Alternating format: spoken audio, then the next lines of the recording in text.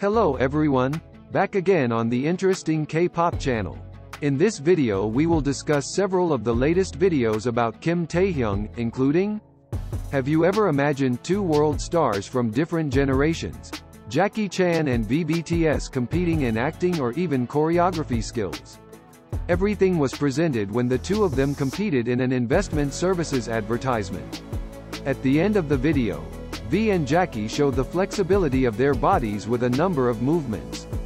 V taught Jackie to do hand waves, while the legendary Mandarin actor showed a few martial arts movements, which the BTS member then imitated. Member of K-pop boy group BTS, V, is now collaborating with famous action actor Jackie Chan in a new project. They are brand ambassadors for Sinarmas Securities stock and mutual fund investment platform, SimInvest. Through SimInvest's latest commercial video, the two world figures finally meet.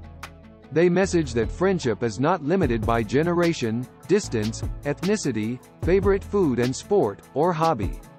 Over the last two years, SimInvest has grown very rapidly thanks to the presence of V, who has a loyal fan base. Jackie Chan's presence can complement the figure of VBTS who is already widely known. Collaboration with V is also certain to continue.